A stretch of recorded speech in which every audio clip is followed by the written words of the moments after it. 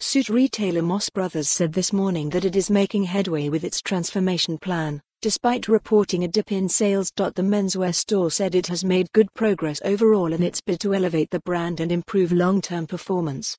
Read more. Moss Brothers appoints ex-Ted Baker finance chief as for Moss Brothers said it has improved its retail gross margin rates in the 24 weeks to the 11th of January by selling at full price with less old season stock to clear. The group expects to report a full year adjusted loss before tax of £1 million.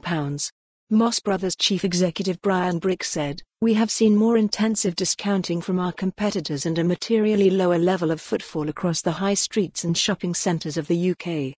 Despite this, we have resisted discounting pressures, facilitated by our careful buying plans, which have meant that we are holding lower levels of terminal stock to clear. This has been particularly evident in our high street stores where we were able to focus on delivering our core purpose of styling individuals for on-form moments. On a like-for-like basis sales fell 3.2%, and online sales dropped 0.4% compared to last year.